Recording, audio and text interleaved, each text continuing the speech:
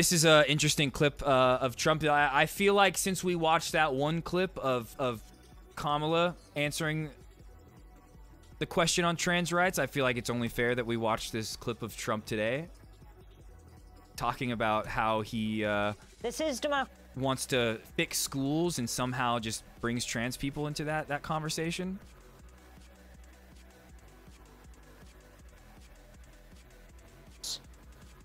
I'd say reading, writing, and arithmetic. Wait, hold no on. trans.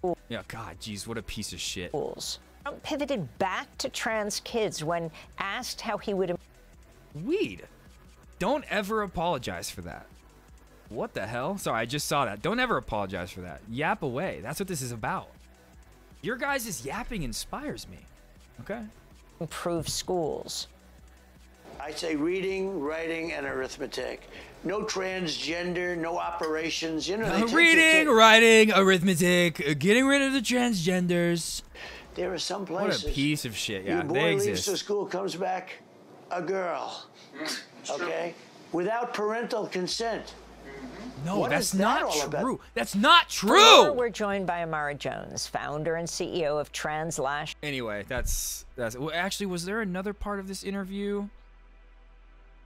It's just it's wild. Like so that that's that's the contrast right there. Like Kamala was asked a question about trans rights, and she said she wanted to follow the law. She obviously could have been an ally and come out unabashedly supporting the trans community with her her answer, but she didn't. She played the middle. Whereas Trump is obviously just way further to the right than her on that. Kamala's trying to run to the right on it, but he's further to the right. He's asked a question about fixing schools, and he brings that culture war shit into it. And the thing that's really dumb is running on this culture war stuff is not helping them.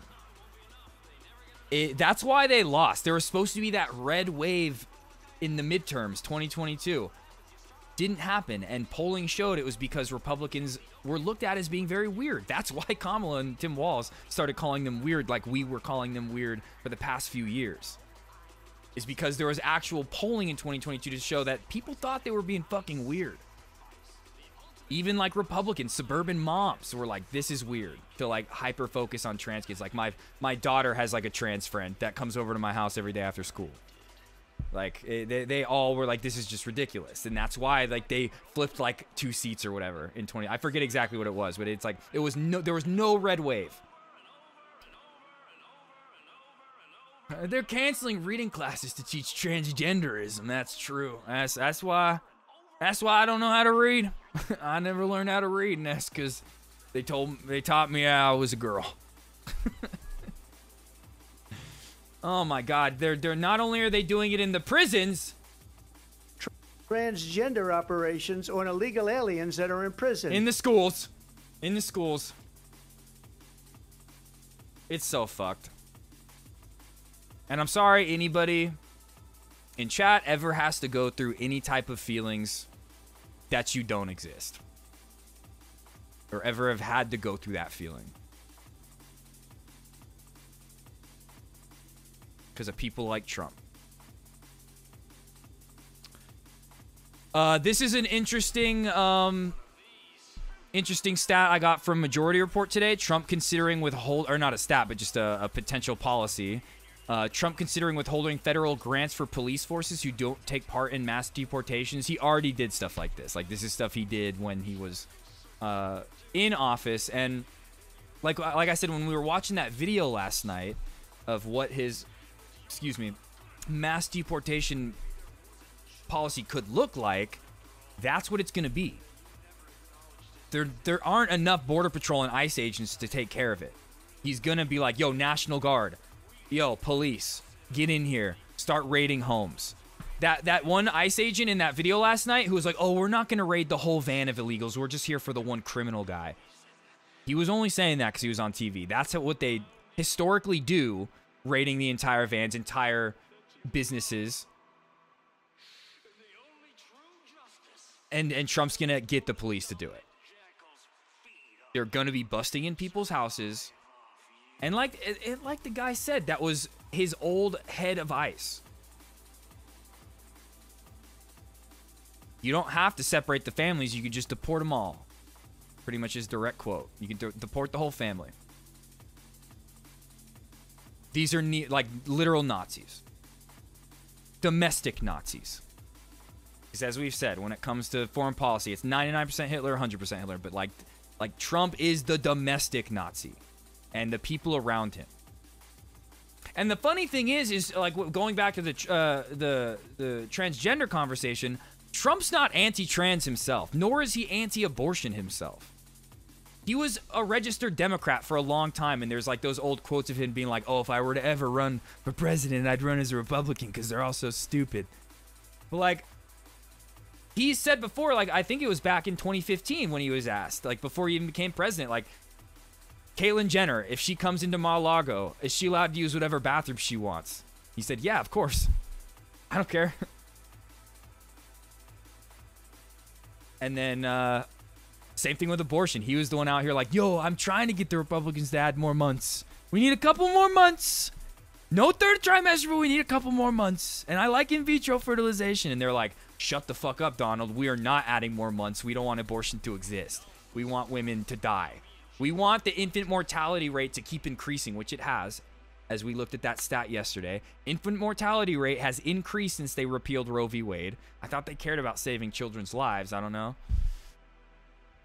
But but like Trump himself isn't I think he is truly anti-immigrant. 100% he is. He is a racist piece of shit. And more than that, he's somebody that wants to exploit people.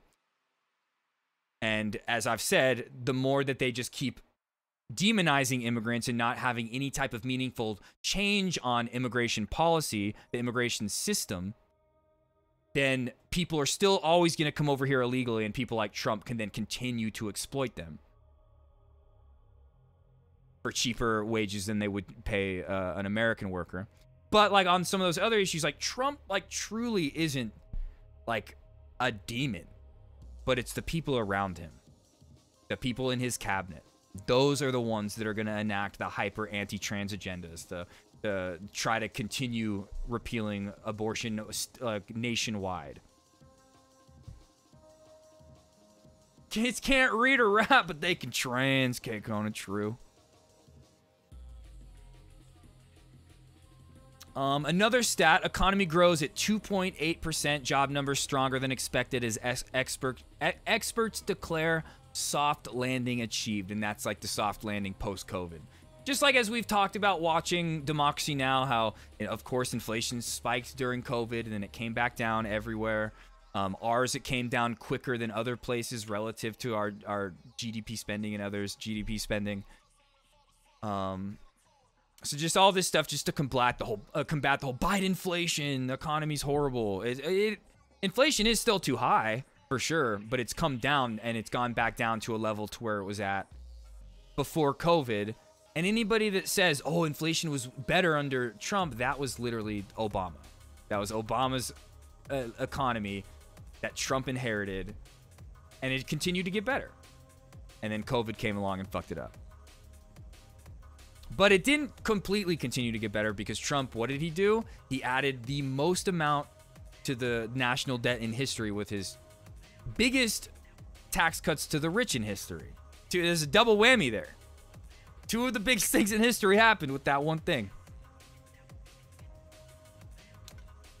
But uh, but as we know, like when it comes to inflation, cost of living, wages have stayed stagnant since the 70s, whereas cost of living has has rose exponentially. Which is why when we were reacting to Kamala's speech last night, it's like, yo, just like say actual good things that are going to materially change people's lives. Talk about raising the minimum wage. Talk about a public option, something that even Joe Biden ran on in 2020 because everybody was talking about Medicare for all Bernie Sanders. So like Joe Biden had to run on on public option. Now we have Kamala being out here being like, "Oh, I hate Medicare for all. I, I regret ever even saying that."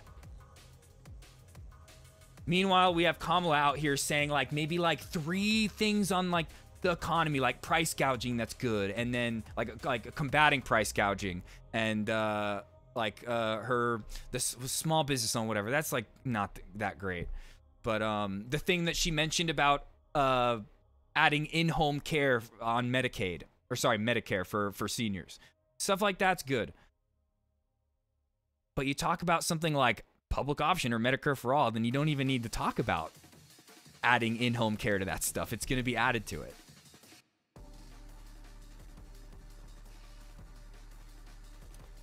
But like her her speech is just all last night it was just here's like two or three like okay things on the economy and then just here's how I'm going to be the most right wing centrist candidate, bipartisan candidate, reaching across the aisle. I can't wait to have a Republican in my cabinet.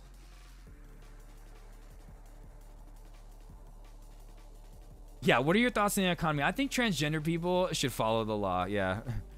How do you feel about Palestine? Like all these people dying. You know, I feel bad for them, but like, you know, people care about their grocery prices here. Literally, like something she actually did in that town hall. She literally was like, Yeah, I know that it's sad that they're dying in Palestine, but that's not the only issue. People are worried about their grocery prices here. Like, you're so fucking stupid. Like, there's actually like ways you could say stuff like that without sounding like an insensitive demon. But even like there's even when you try to mask it up, it's like there's no like can't forget about the Palestinian children, dude, and women and children, just Palestine in general. Like I said, I just think that out of the two of them, she's the only one that through immense pressure, grassroots organization will be able to be pushed to somewhat of an arms embargo or something. It will never happen with Trump, and it probably won't with her either, but maybe we could try.